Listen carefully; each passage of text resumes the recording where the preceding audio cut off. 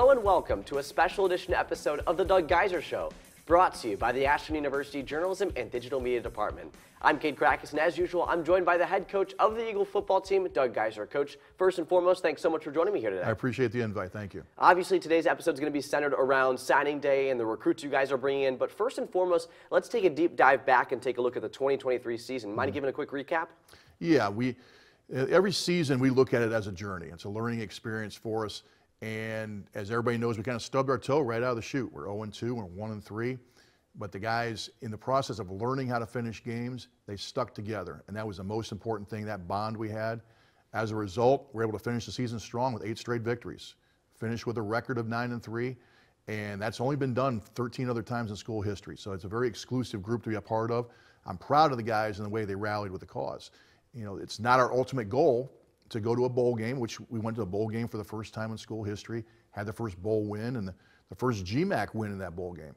But it's a good first start as we build to hopefully, you know, get a chance to win the conference next year and you know go back to the playoffs. And obviously, all season long, we took a look at some big standouts on the stat sheet in terms and whatnot. When you take a look at those players, a lot of them were seniors. Is that going to impact you guys, and how are you guys looking to replace those players? As you look on the offensive side of the ball, we had some guys that really stepped up and probably played the best football of their career.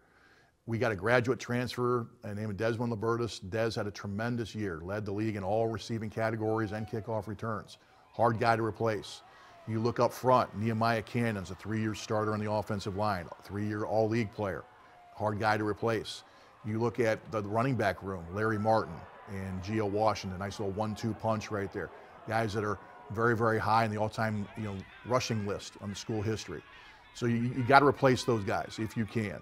But then you also have some unsung hero guys, guys that stepped into major roles and really contributed. Ryan Poole up front at right tackle. Jake McLaughlin was kind of a, you know, a Swiss Army knife and on the offensive side of the ball and also on special teams. So, you know, looking at those guys right there, they'll be hard to replace. And you mentioned a lot of offensive and special teams players. Defensively, are there big some big stands you guys are losing? On defense, yeah, the same thing. Jackson Myers was probably the best defensive player in the league. I'm biased, obviously, but he had a tremendous year. He tried to be like Mike and – in a lot of respects, he was like Mike. You look up front, Chris Julian had a tremendous year as, as a pass rusher and playing defensive end. You look at the back end, Javon Sewell, slow, you know, nice and steady for us at cornerback. You know, and you also look at the fact you mentioned special teams. Jackson Myers was our long snapper too. So those gentlemen I mentioned, they were all key cogs in helping us get to that nine and three record. And so we really got to work hard to replace them next year. Now that we've tied the knot on that 2023 campaign, what has this offseason looked like in terms of the recruiting side of things for you guys? Well, for us, the off season is, two, is twofold. You look at two things. You look at development, number one.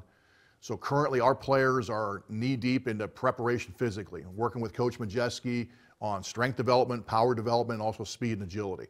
The other portion of that now is supplementing your roster, and that's the recruiting process, and that's why we're here today, National Signing Day. And speaking of signing day, obviously for those who might not be aware of exactly what signing day is, do you mind giving them a little bit of a debrief on exactly what occurs and what it really is? Signing day is actually a misnomer. It's actually the first day of signing period. And so February 7th, and it's always the first, when, the first Wednesday in February is the first opportunity to sign in Division II football. But our signing period goes all the way through August 1st, actually. So if you don't sign today, that's okay. You can still sign later, just as there's a lot of pomp and circumstance and celebration today, and that's just a tradition thing. So you'd like to be able to sign today if you can, if you know where you're going. And obviously, in preparation for this special edition of the Doug Geiser Show, we talked a little bit back and forth how this signing day might be a little bit different than in years past. Do you mind talking a little bit about why exactly it was different this year? Yeah, the big, the big piece in the puzzle for any level that does not offer full rides, and so we're talking anything but the FBS, the FAFSA information, your need-based money is a big piece of the puzzle. So in order to sign or in order for us to announce anybody to sign on signing day, they either have to ha sign a national letter of intent, which means you're getting some kind of athletic money, or you got to sign a financial aid agreement. We're able, in most cases, with our with the guys we've offered football money to, to sign them today. They're getting significant scholarships. We pretty much know what their package is going to be between athletic and academic money. For those guys who are not receiving football money, now you have a piece of academic merit, which we, we know at this point, but you also have the need-based money. We have no idea on the need-based money because we're not able to access the FAFSA results from the government until now they're telling us probably early March. So it's a little, it's a little bit of a monkey wrench in the whole situation this year, and it's, it's kind of a hurdle we've really had to try to navigate. And so, when taking a look at signing day for you, what is a day looking like in terms of what's on your schedule for that given day? Well, you wake up bright and early, and there is a time code on the papers we send out. They cannot sign and send them back in until 7 a.m. of signing day. So you get in the office bright and early at 7 a.m. and you're, used to be monitoring the fax machine. Now it's monitoring your scan on your email, or you can also take a picture of it with your phone, or you can still do old school and do fax. The players have been sent the national letters of intent or the, uh, the financial aid agreements a couple days ago in some cases and they've reviewed them. Our coaches have gone over with them, so they know exactly what the directions are, how to, how to go about it today. We receive those back in, then we can now announce those players as not only recruits but signees of the next class at Ashland University, and that's I guess it's been on a, on a rolling uh, a rolling list on our website all day. And obviously, even with some of the difficulties we talked about, how are you and the coaching staff feeling about how signing day has turned out? Uh, we're excited. We're excited. In, in a lot of respects, this is a culmination of a year long process, or sometimes more than a year long process of identification of, of uh, recruits and prospects, evaluation, and then, the, uh, then you recruit them. You know, and then you try to court them to come and be a part of your university. So there's been a lot of you know, miles on the road, going to travel and see players, watch them play, whether it's in camps, whether it's in games, home visits them traveling to you for game day visits or official visits. So, so a lot of time and effort have been put into building that relationship, and to see it come to fruition today is always very rewarding. Well, Coach, thanks so much for sitting down with me to open up today's show. I appreciate it. Thank you. With signing day finally here, it is time to bring in the press to ask a few questions so we can get a deeper insight into how things have gone for the team. We will take a break and join you back here shortly for the question and answer portion of today's episode. Stay tuned. You're watching The Doug Geiser Show right here on AUTV.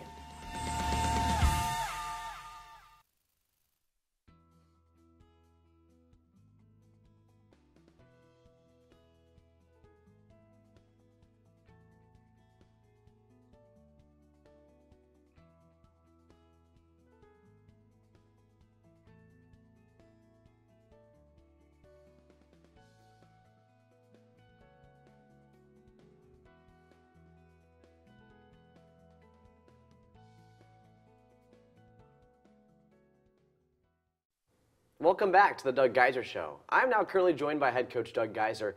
It is now time for our question and answer segment in today's studio. So before we get into that, though, give a little bit of a recap on how signing day went. Signing day, it's always a great day of excitement for us. It's kind of a culmination day. It's a combination of national championship and you know excitement adding that next group of players to the roster, and it's kind of a confirmation of all the hard work you've put in. For a lot of these guys, we've known them, been recruiting for over a year. So for, to finally be able to get it to fruition, have them sign and become Eagles, it's very, very rewarding. Well, Coach Geiser, we've got two media members here inside of the studios today. Mm-hmm. It's Ethan Jenkins from the Collegian and Kyle Dorschuk from 88.9 WRDL. First off, we'll hear from Ethan Jenkins, a sports reporter from the Collegian. In terms of players that you got locally from around this area, how many of them are there, and can you tell me just a little bit about them? Yeah, we uh, I can announce four. You know, we talked previously about the matters with the, fia- the fiasco with the FAFSA. So there's a couple guys that have not signed as of yet, so I can't divulge their names. I can, I can talk about four. Uh, probably the headliner of the group is a receiver from Shelby, Isaiah Ramsey. Extremely talented, and I think maybe in years gone by, when you didn't have the portal, that I think you probably would have been, you've been seeing him possibly signing with a MAC team or higher. Uh, tremendously gifted and talented, and the sky's the limit for Isaiah. Right down the road from him, however, we have another receiver from Bucyrus Wynford, James uh, Renfus and he broke a ton of records at Wynford, and we're really excited about that one-two punch with Isaiah and with James. If you look a little closer here, closer to town, we've always got to add some offensive linemen. So Tyler DeLoche from Mapleton, tremendous, tremendous player for us. And then we're able, able to add a punter from Ontario, uh, Landon Campbell as well. So as always, we're going to take care of home first. That's where Ashland starts, and we'll branch out from there. We're excited about all four of those, uh, those local players. And kind of going off of that, how far you guys are branching out. What was the farthest that you guys actually went for somebody in this class? I would probably say uh, northern Northern California with Jaden Jimenez, a linebacker, uh, playing upon relationships because recruiting is relationships and building relationships. When we added Donzel Ashley back to the staff during the season, he had a long time relationship with Jaden and with his family. And just so happens that Jaden is a heck of a football player and you know, based on that relationship, and after he visited, he wanted to become an Eagle. So I'd say probably California this year. Now we'll hear from 88.9 WRDL reporter Kyle Dorshuk. How you doing, Kyle? Good. How are you? I'm good. Good. The biggest question I have is how big of a role did social media play in your recruiting for this big class? It is playing a, um, an inc- increasing role every single year. Uh, that's the way that young people communicate nowadays. So we are always, especially Twitter, which I guess I got to call it X now. Is that correct? We're going to call it that. It, we'll do a ton of research on Twitter. Guys will post their offers, where they've visited, workout stuff on there as well. So we'll research guys tremendously on, on that on that medium. But also, I know just like we put all our segments from the Doug Geiser show or the radio show on different you know, platforms as well, we'll use that. So I think as you're going through the process of researching guys, it's another vital piece in that research, probably almost as important as the evaluation of actual ability. And going back into the like fit in your team for these recruits, what would you say is the strongest position group that you got from this class? I would say two. I would probably say two at this point. It's just strictly because of numbers. The offensive line group, we can't announce all of them today. We actually have 11 guys in that group coming in. We got a, we got a, a commit from last night that weren't able to get the papers done for, and the defensive tackle group. We signed seven guys in that group as well. And so um, we want to keep stacking offensive linemen for obvious reasons, for depth, because it's a very, you know, can be a very high injury uh, position, but also for competition. And then on the defensive tackle position, we graduate four guys next year. And so we got to have you know, guys ready to go. We don't want to have to play freshmen in 2025, if, you know, unless they're good enough. So if we continue to build on both those classes, so we are playing from a position of strength and competition at that point. So I'd say the O line and the D line in this class. And then last one here for you, coach. You were hired as head coach just before signing day last year. Mm-hmm. Now you get that whole year. What has the process looked like in terms of differences between last year and now this year in your role? Uh, more than anything else, probably the biggest difference is last year I was wearing two hats.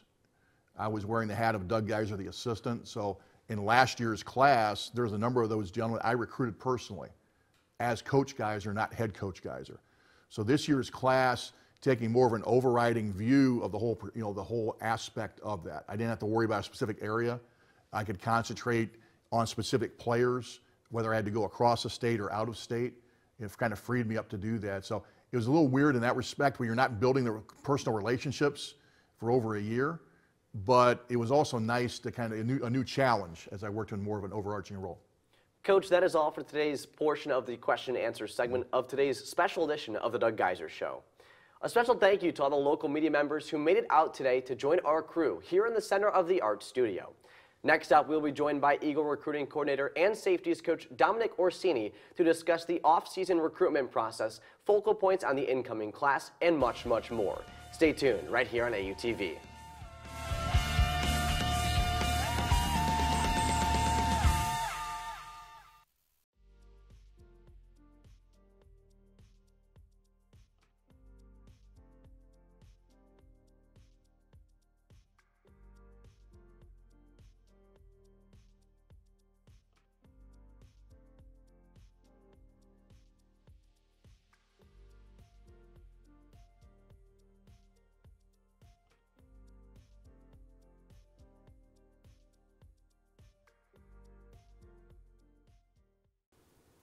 Welcome back to the Doug Geiser Show. I'm currently joined by head coach Doug Geiser and recruiting coordinator and safeties coach Dominic Orsini. First off, guys, thanks so much for joining me. Absolutely. Thank you. Of course. So to hop straight into things, how has this offseason gone for you guys in terms of recruiting? It's gone really well. Um, you know, I think we, we were able to, to really come together as a staff this offseason and, and really target um, all the great talent in Ohio and beyond the state of Ohio to, to put together a really good class this year. And obviously, talking about kind of the state of Ohio and the areas of scouting you guys have hit, has yeah. there been a focal point? Has it been local? Has it been beyond? What's it kind of looking like for you guys? Yeah, absolutely. So, Ashland football, we're, we're always going to stick to our roots, right? Which is dominating the, the great state of Ohio. Um, but this year, we kind of expanded outside of the, the state of Ohio um, into bordering states like Michigan, Pennsylvania, Kentucky, and Indiana. And um, you know, you look at some of the guys that we brought in this year. You know, we got Sam Makula out of the Detroit area in Michigan, um, and even beyond those bordering states. You know, we got a, a huge recruit out of California, Jaden Jimenez, um, you know, linebacker out of there in North Cal. And then we went even all the way down to Florida this year and, and getting Damian Bloomfield, a big time D tackle for us. So this year, um, you know, was the first year we really went out of the state of Ohio to, to target some of these top prospects for us. And, you know, getting a handful of them this year was a good first step in the right direction. And when you take a look at character and what you're looking for in terms of personalities on the recruiting side of things, when you guys go to these events and when you guys are watching film, what are you guys looking for in terms of that? Yeah, there's, there's quite a bit of things. Yeah, I, the, probably the most important thing. There's three questions we ask of all recruits when they come in. Number one, do they love football? Number two, are they a good teammate? And number three, can we trust them? Those those three things, character-wise, encompass a lot as far as accountability and, and ability in there. And uh, those are those will kind of be the backbone of anybody we look at with the intangibles. Yeah.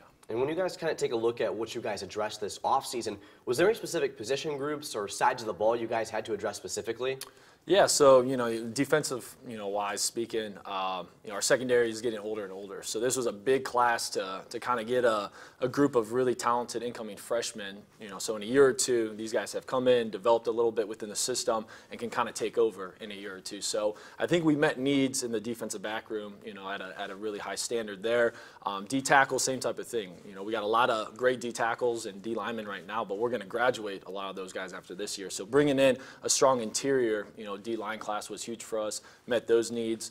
Um, you know, you lose Jackson Myers, top middle linebacker. Uh, we did really good job last year in recruiting to make sure we got guys for this year, but went out and still got two really good linebackers this year for us.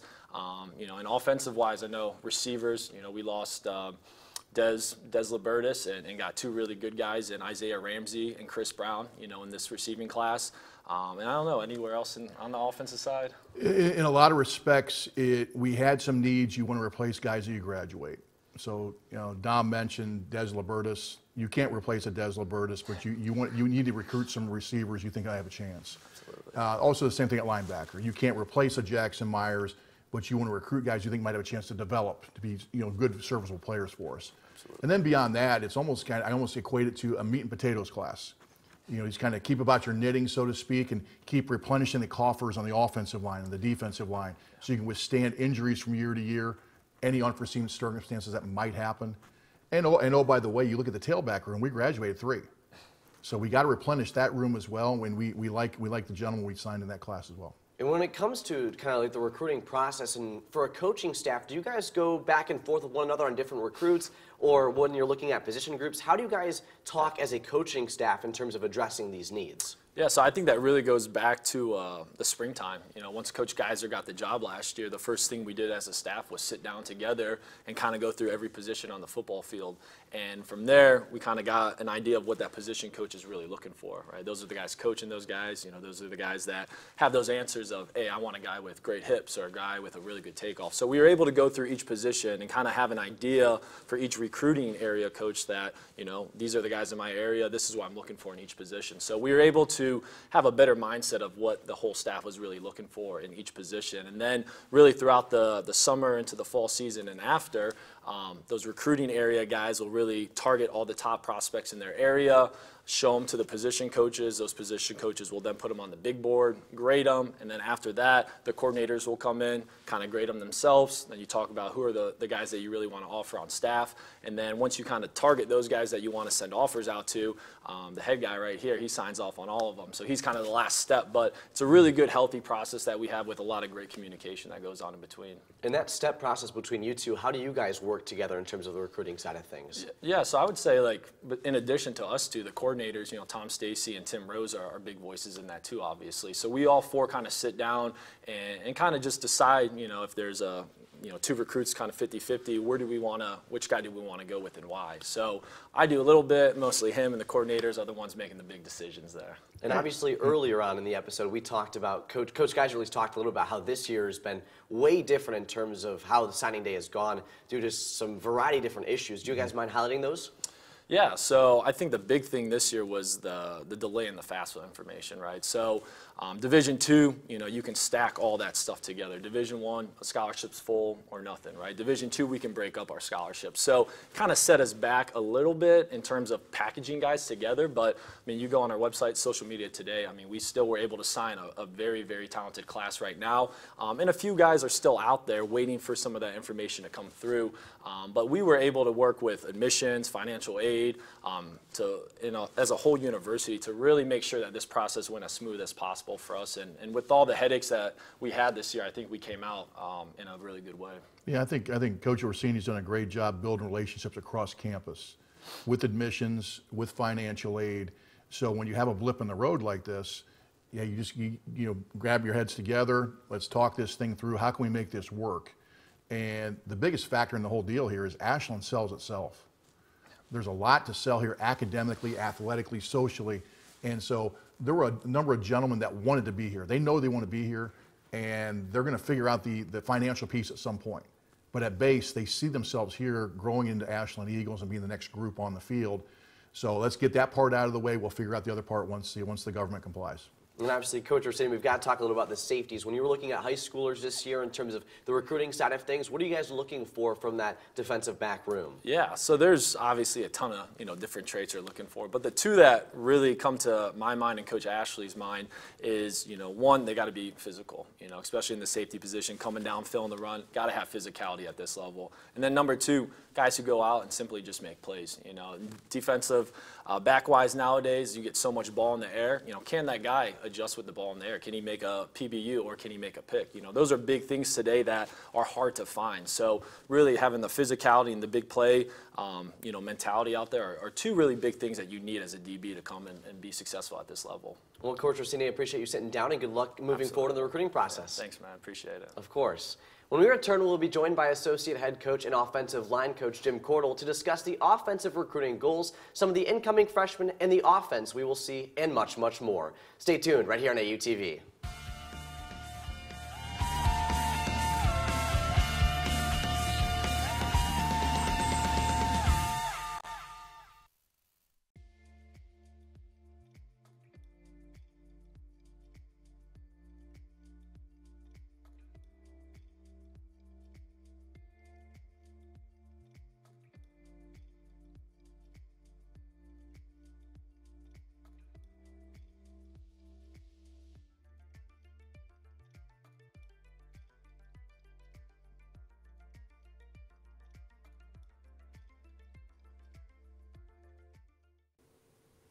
Welcome back to the Doug Geiser Show. Now we're joined alongside Coach Jim Cordell. Coach Cordell, this past season, the offense truly did thrive. When all is said and done, what do you guys have in terms of takeaways? From from this last year of offense, we got a really good quarterback, and uh, he can sling the rock. Um, he's he's a he's a really good player. He helped you know he helped manage the offensive line, um, made us look good and uh, a lot of pieces, you know, a lot of pieces um, around him. You know, we got some young running backs that we feel really good about, some things like that. But uh, yeah, quarterback is the guy. When taking a look at the offense in terms of the recruiting side of things this offseason, obviously a focus has got to be on the offensive line. What did you guys uh, end up out with here on the signing day? Yeah, I'm coming up on a year uh, at Ashland, and uh, when I got here, I was all excited to get, you know, right in the spring ball. Uh, but there were many spring practices. We had uh, six six offensive linemen practicing last year. So um, to be able to to actually have some depth now, feel good about the depth that we have uh, going into the fall. Feel pretty good about that. We've got.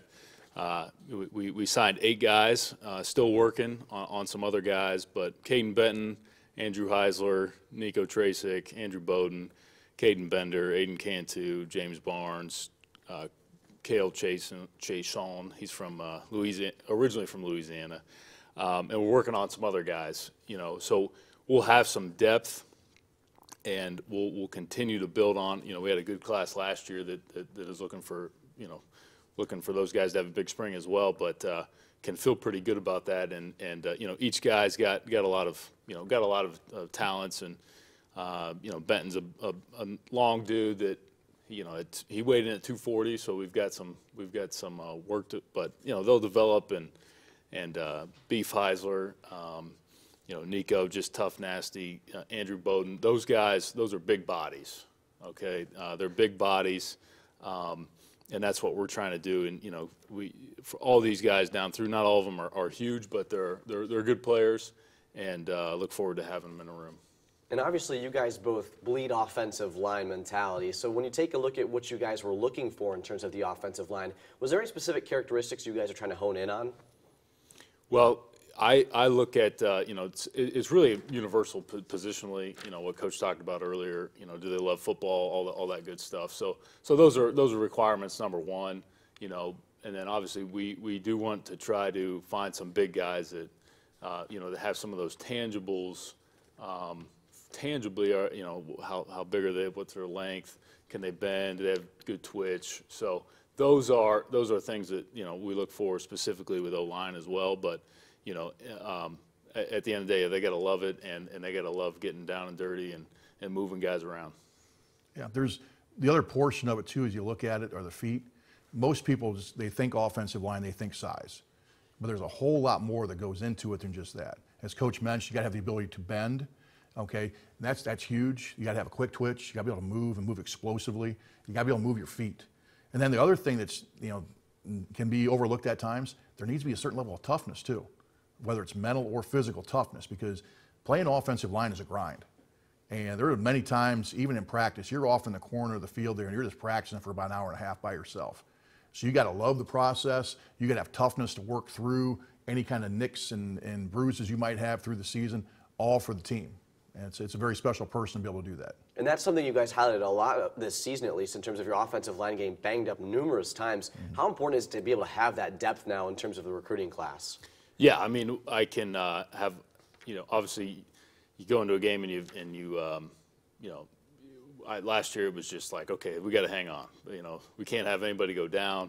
Um, so now it'll be a, all right. We'll we'll have some guys with depth. Not that we want to, we certainly don't want anybody to get injured, but uh, we'll we'll feel good about okay, we've got good depth, and and we even like to get to, you know, I know these guys are young still as they go through and develop, you know, I mean, playing multiple guys at a position. You know, that's I think that's the ultimate goal um, as we build this class. It was a good class, and and and look, you know, already turn the page to 25, but get to the point where we can play a couple guys at a position. And how is it looking in terms of the coaching staff when you guys take a look back at this past year and how you guys met and what you guys addressed, and then now shifting gears to potentially next year's recruiting class? Offensively, what are you guys looking at? Well, as far as the staff working together, what you're talking about, I was really happy with the, the way the offensive staff came together.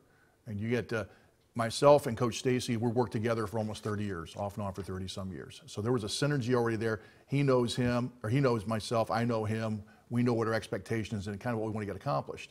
Bringing in somebody like Jim, who has a totally different perspective, where he's where he's coming from, how he's been taught, and the things he believes in, was actually really healthy for the staff. We hadn't had a turnover like that in a long, long time and it was it just took time to assimilate everybody together.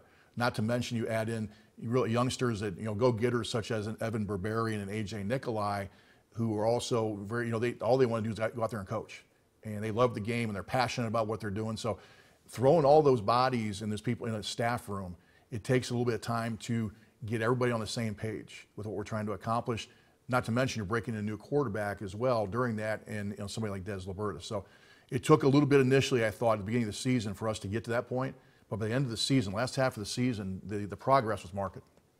And Coach Cordell, obviously it was your first full year now fully under your belt with the Eagles.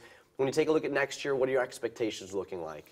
Just to continue to build. Uh, this is, um, it was, like Coach said, we started out a little slow, but uh, we've got a lot of positive momentum going in, into this, this season.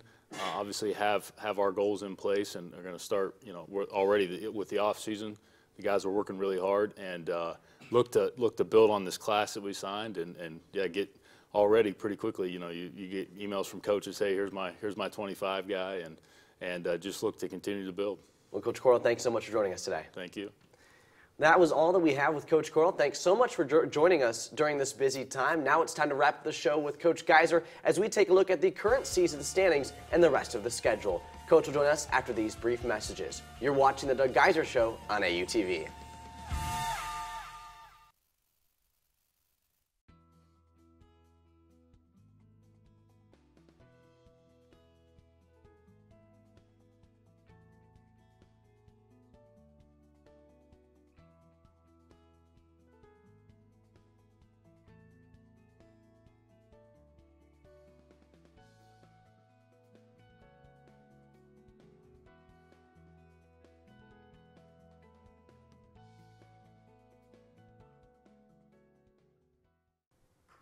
Welcome back to the Doug Geiser Show, right here on AUTV.